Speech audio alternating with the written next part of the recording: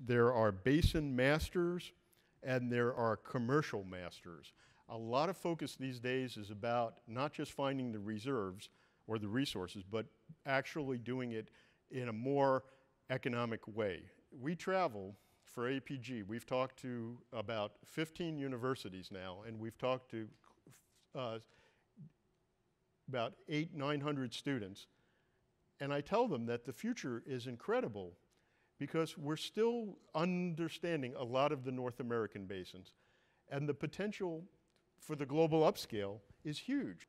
Just looking at the top 25 super basins, the world is watching what's happening in prototypes like the Permian and in North America. And as Bob said, the potential energy uplift is huge. And so for a society like AAPG, a global organization, we think this is a critical thing for the geoscientists to be able to understand the energy potential of these basins.